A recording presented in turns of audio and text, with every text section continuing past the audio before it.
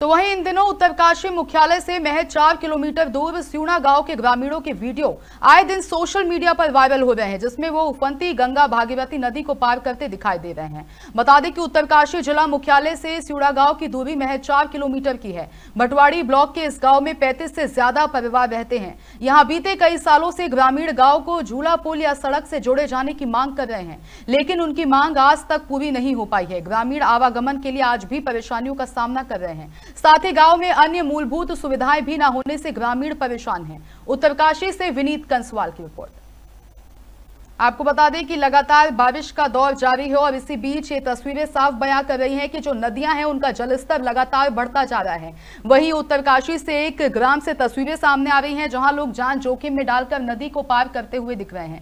साथ ही आपको बता दें कि वहाँ पर लोग मूलभूत सुविधाओं से भी वंचित हैं और लगातार ग्रामीणों की ओर से ये बड़ी मांग की जा रही है कि उनको सभी सुविधाएँ प्रदान की जाए। लेकिन जिस तरीके से आप ये तस्वीरें देख रहे हैं, ये साफ़ तौर पर माना जा सकता है कि वहाँ लोगों की जान कितनी जोखिम में है, क्योंकि आप तस्वीरों में भी देख सकते हैं कि लोग नदी को पार करने के लिए मजबूर हैं। लगातार प्रशासन से मांग की जा रही है कि उनके ग्राम को शहर से जोड़ा जाए, लेकिन अभी तक उनकी मांगों पर किसी भी तरीके का आश्वासन नहीं दिया गया है।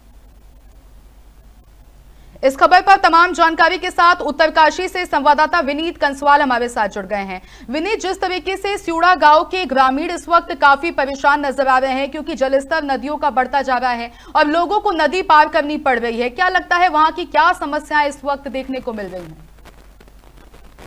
जी, बिल्कुल, जिस तरह से देखा जाए तो स्यूड़ा गाँव काफ़ी समय से अपनी बदहाली को रो रहा है और लगभग इसमें ना ही प्रशासन और ना ही सरकार ध्यान देती नज़र आ रही है।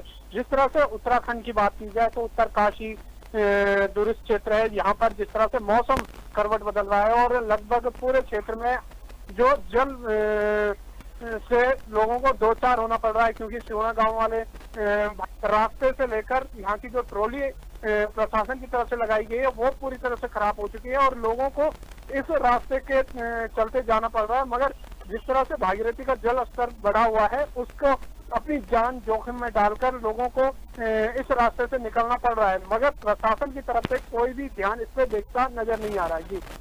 वही विनीत अगर बात करें तो लगातार काफ़ी समय से देखा गया है कि गाँव को सड़क से जोड़ने की मांग लगातार की जा रही है। क्या लगता है कि प्रशासन इस पर क्या एक्शन ले सकता है? और अभी जिस तरीके से ये समस्या बढ़ती जा रही है और क्या कुछ मांगे हैं ग्रामीणों की?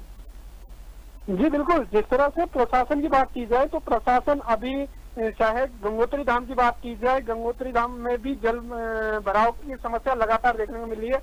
क्योंकि गंगोत्री मंदिर की बात की जाए तो मंदिर के प्रांगण जहाँ पे पूजा घर है, वहाँ तक जो भागीरथी का जल स्तर है, जो कि खतरे से ऊपर बह रहा है, और वहाँ से लगभग उत्तरकाशी मुख्यालय तक के तमाम क्षेत्रों में जिस तरह से भारी बारिश हो रही है, उससे काफ़ी हद तक यहाँ पर लोगों से बचाव और सुरक्षा के लिए बेसिकली एसटीआरएफ और एनडीआरएफ की टीमों को अपडेट मोड पे रखा गया है, मगर जिस तरह के हालात लगातार उत्तराखंड के उत्तरकाशी में देखने को मिल रहे हैं, ये बड़ी मुश्किलें खड़ी हो सकती है, क्योंकि कांवड़ी यात्रा भी यहाँ पर चल रही है। कई जगहों पे पहाड़ों का टूटना जो लगातार सिलसिला जारी है, उसमें प्रशासन को पर भी कई कई सवाल बनते नज़र आ रहे हैं, क्योंकि लगातार सड़कों के बदहाल होने के बावजूद भी प्रशासन यात्रा को करने में नाकाम बना हुआ है। जी।